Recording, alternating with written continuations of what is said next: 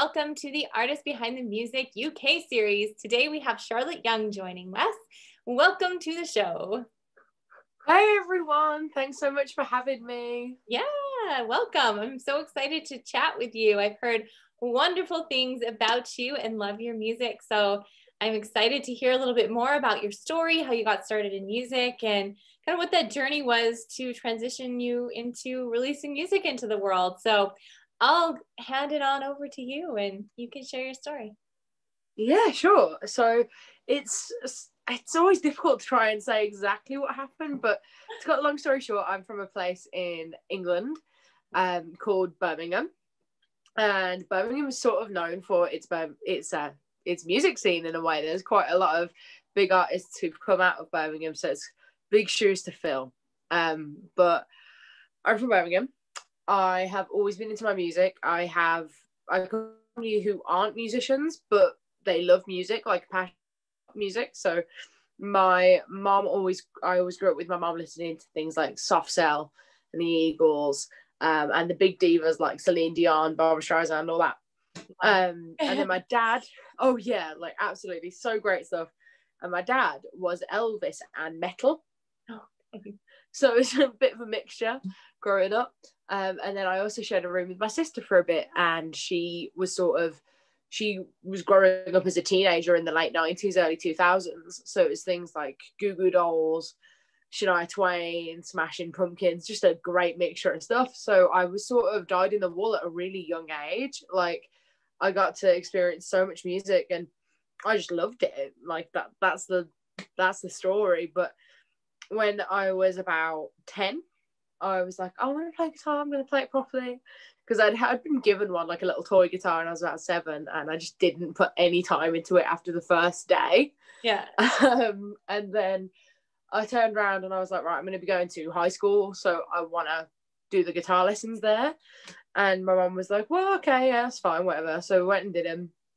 And I only got to do a few lessons, and then I actually had a car accident, so. I couldn't go to school for a while. So I picked up one of these, um, and with the help of the internet and YouTube being such a growing thing at that time, I mean, this was 2009, so it was starting to starting to grow quite a bit, quite a bit. Yeah. And I sort of went down the rabbit hole of you've listened to Taylor Swift, here's Carrie Underwood, here's this, this, this, this, and sort of just really fell in love with what I loved growing up about Shania and what I loved about Dolly and just found a new version of it. So I just sort of stuck with it and it just became a snowball effect. Started doing some open mics when I was about 15 and then I fell out of it when I was about 18, 19. Didn't just, I just didn't really gig, I didn't really have time. Yeah. And I went traveling. And when I came to, when I came home, I was like, this is what I want to do now. This is why I can't settle. This is why I can't go to uni. This is why I can't do this, that, and the other. Because I just wasn't happy. I just wanted to create music. Yeah. So I started doing some more gigs, started to get some more opportunities, and then I got to record my first record, and that came out this year in March um, and May. So that was really, really exciting. And then I met the wonderful Rachel Selick over at Scarlet River Management, and that's where we sort of are. That's so cool. I like it. I like how it evolved. And you know what I find so interesting about your story is how you were saying um, you were in a car accident and that forced you to stay home, which gave you the opportunity to play music.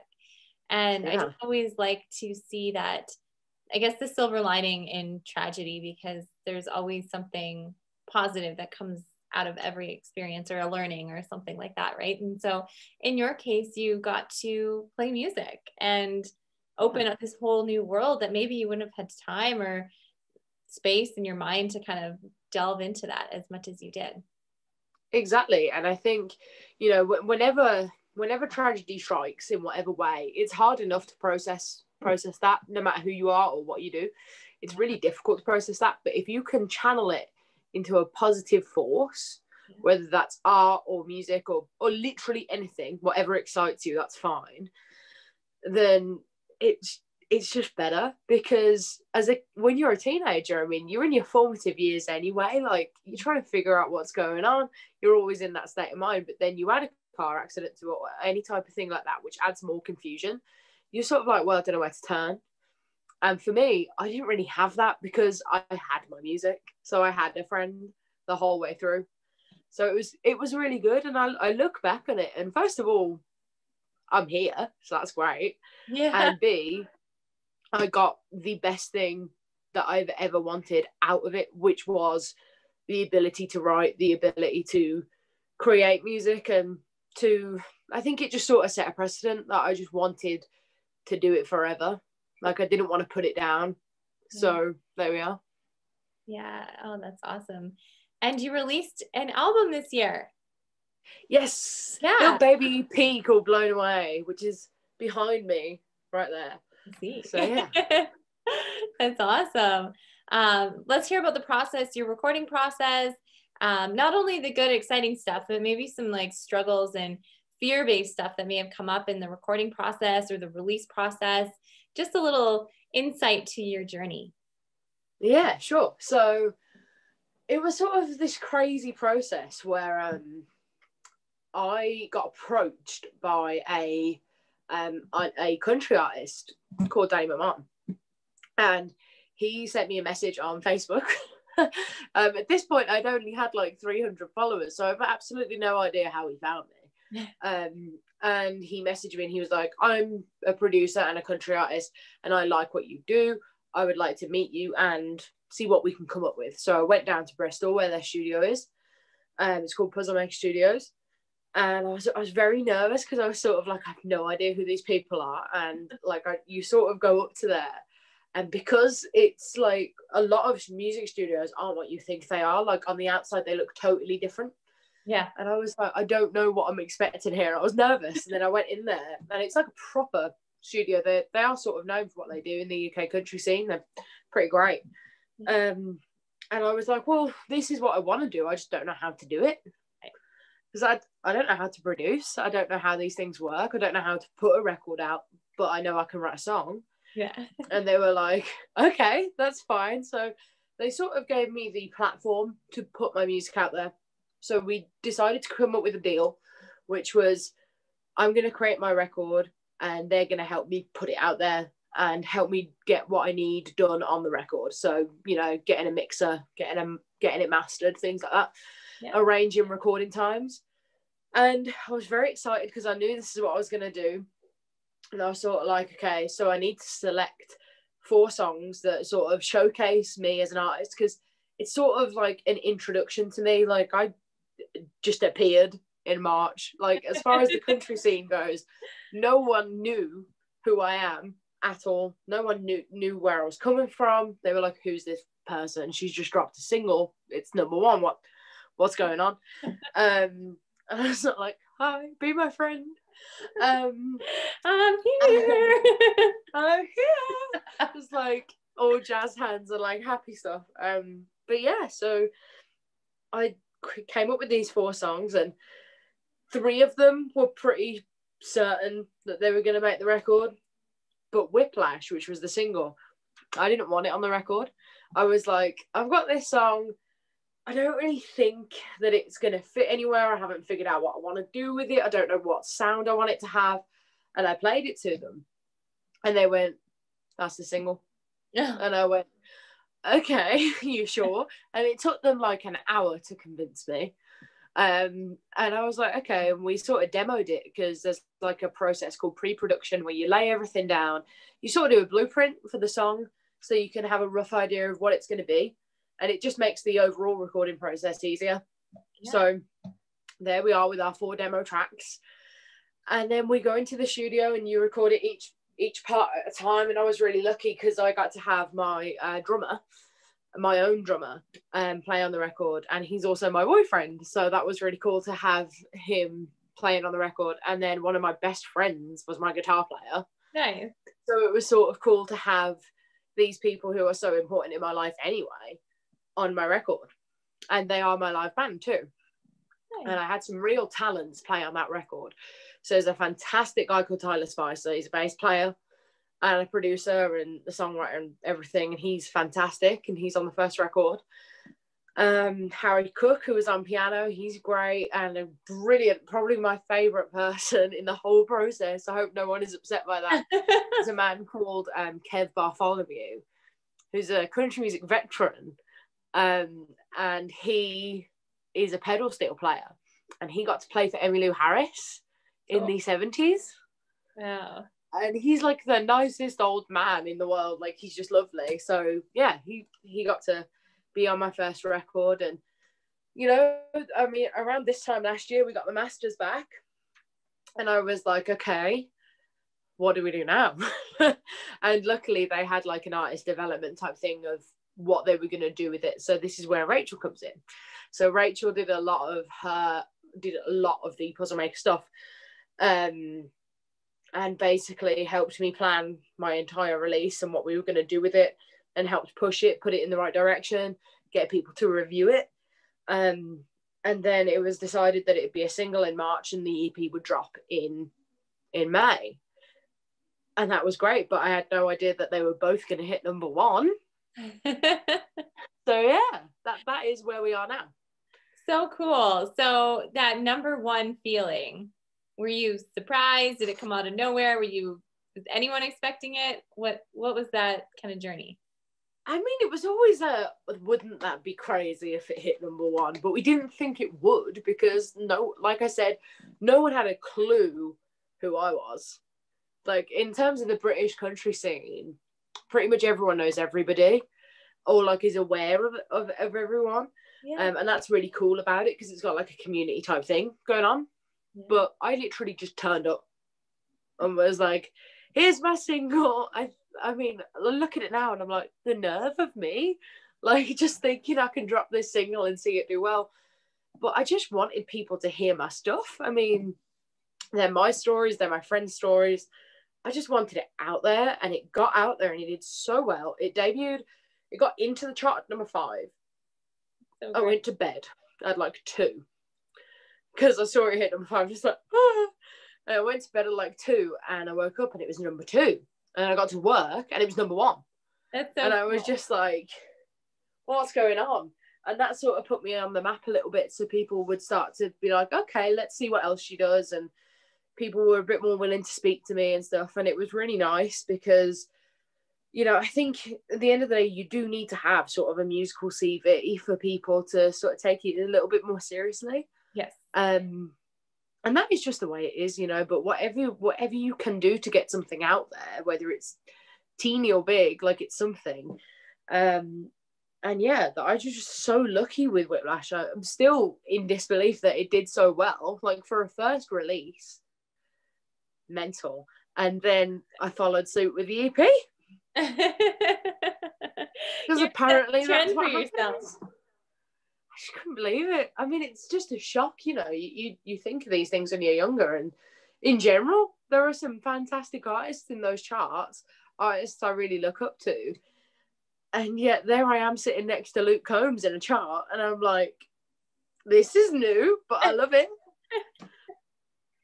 That's amazing. Well, I love that attitude, just humble and excited. And I think that that is just an, an equation for success. And I noticed a very cool tattoo that you have there. Yes. Show it off, brave. I love that Brave. word. And I think that's such a such an important mindset to have. So what was the inspiration behind that tattoo?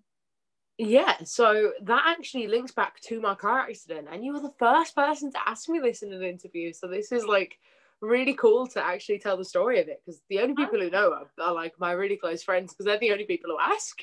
Oh, so like, I'm really happy. two that I get gals to tell the having a combo. There you go, two girls having a conversation about tattoos. So I just I wanted a tattoo anyway. I have two. I've got one on my ribs. Um, it's just like a little arrow, and I'll tell you about that in a moment. Um, but brave is links back to my car accident because I remember. I mean, I was 12 when I got hit, and like it was from between the ages of 12 and 16. I was sort of in and out of hospital because it was like a really complicated car accident. I was fine, but I mashed my leg up and they had to do so much operations to like get it back to normal or like to make sure I could walk properly. Yeah. And I remember all all I remember is the support I had. and that is my that is my family like my mom and my sister and my dad and and my grandmother and everybody and my best friends they were there and they were there regardless and i remember my mom in particular like i'd be crying my eyes out over an operation or something and my mom would just be like be brave so i was like as a reminder to be brave every day you know oh, so if i'm ever feeling a bit bit low feeling like i can't handle something i just gotta look look there and I know that I can.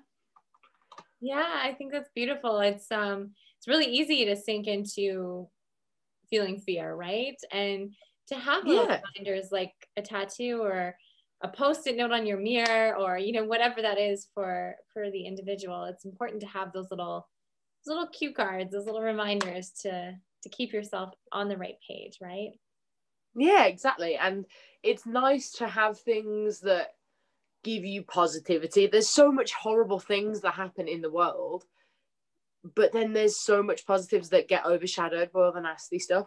So it's really important to have things like that. And I was like, why not have it on me permanently? Then I don't have an excuse not to be brave. That's um, right. That's never going away, right? Exactly. I mean, the only way it would get off is if I went and got very painful laser removal, and I don't want to do that. So so yeah, it's really cool. But I want so many more. I just haven't had a chance to book them in. Um, but I've got lots of ideas for what I would like. So cool. yeah. Well, maybe next time we see you, you'll have some a new story. exactly. Exactly. I think coming. the next one will be like a sun and a moon, like around there. Like it. Like spacey stuff. Really pretty. Cool. I like that a lot. Well, I would love to hear you play if you were ready to just share yeah. some of your tunes. Amazing. So I'm gonna actually play you my latest single, uh, which I dropped in November. Uh, it's called "Praying for Rain," and you can get it everywhere. It's everywhere that you can find "Blown Away" as well. Um, so yeah, it's a cool song. I wrote the chorus for this when I was 15, um, and then wrote the rest of it this year. So it's sort of grown over a few years. Um, but yeah, I hope you like it. I'm just gonna sort that out. There you go.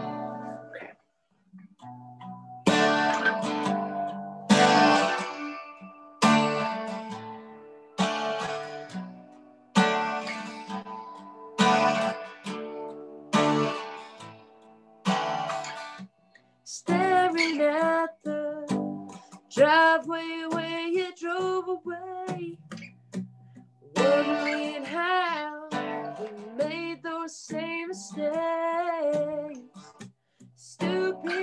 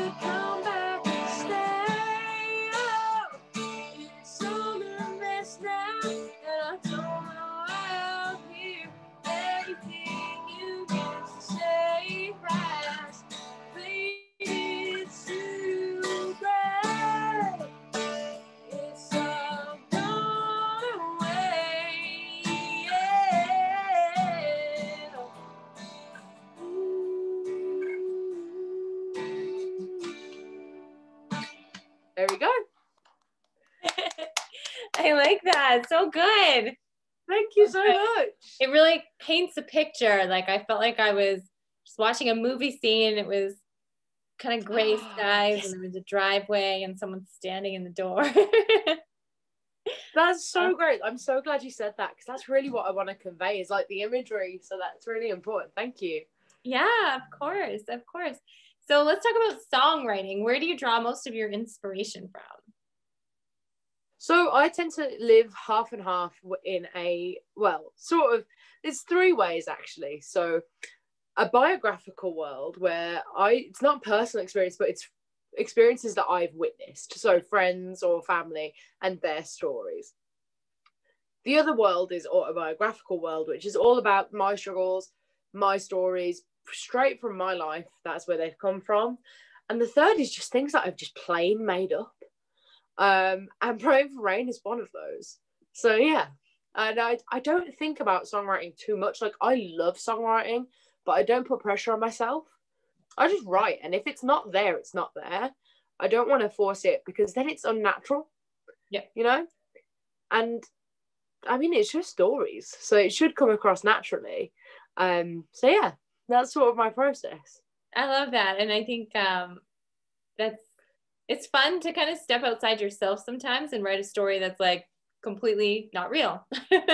Yeah, Just like- exactly. You're writing a little movie or something. It's, I like I like Yeah. that, just stepping completely outside of yourself. And it's neat to see where the creativity can take you when you're when you're writing about something that you've never experienced or or been Yeah, exactly. Because it opens your mind up a bit more because you're not like, well, first of all, I don't have to worry about naming anyone because they're people I've made up.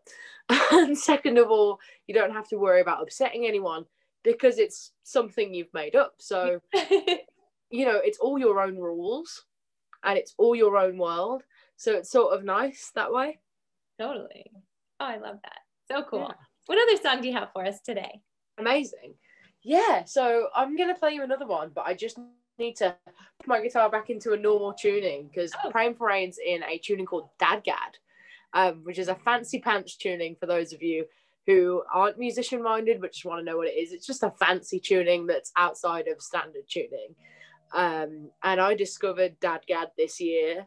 Um, I'm a bit behind the times um, but I thought it just sounded really pretty. And um, the guy who played the acoustic guitar on the record played it in Dadgad.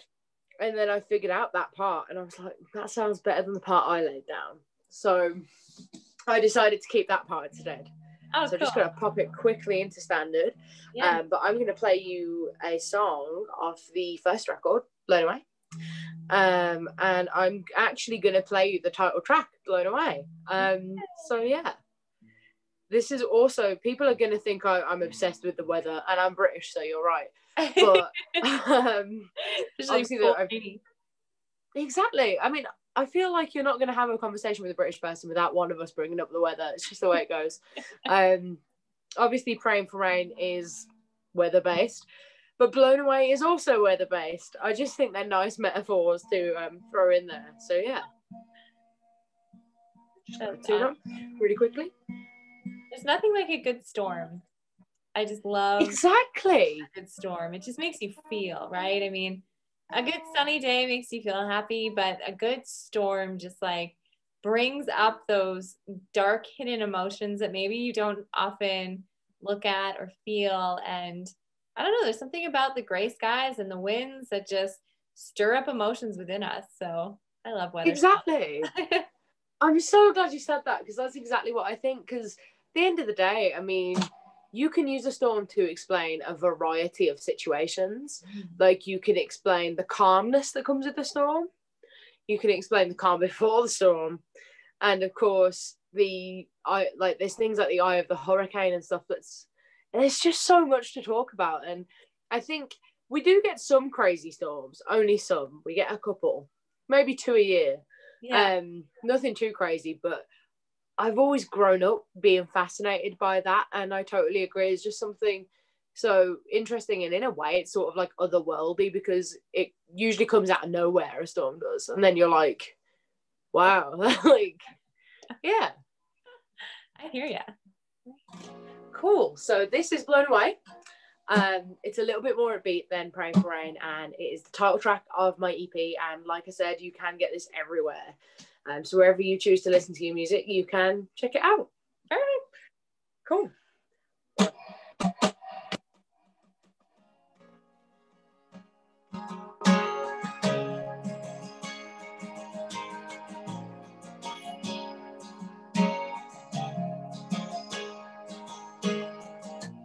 It always comes back to you.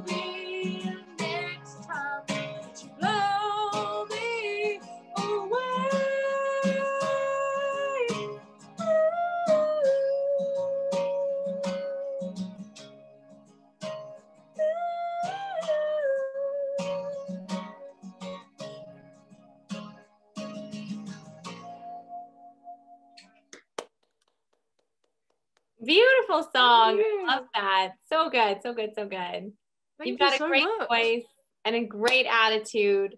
It's been so nice chatting with you. This time has just flown by as it always does. I just am so excited for the future for you and and new things to come. So I'll be sure to keep following you and, and check everything out that you're doing. I always love to this question. If you had one message to share with the world, what would it be? Okay. Um, I'm gonna try not to say something stupid. Oh, because I feel I, there's no I wrong. feel like I would. no, cool. So first of all, thank you for having me on. So and welcome. I guess my message to the world is continue to be kind and please just keep positive thinking and whatever situation you're in you can get out of it and hopefully we're going to have a much nicer year next year than we've had this year yeah that's perfect. I love that. Good message. And you've left me with a feeling of bravery today. So i appreciate Yay, that we'll keep paying that forward. Thank you so much for being here. And we'll make sure we post links to all of your socials and all the wonderful things that you have going on in the show notes. Awesome. Thank you so much. You're so welcome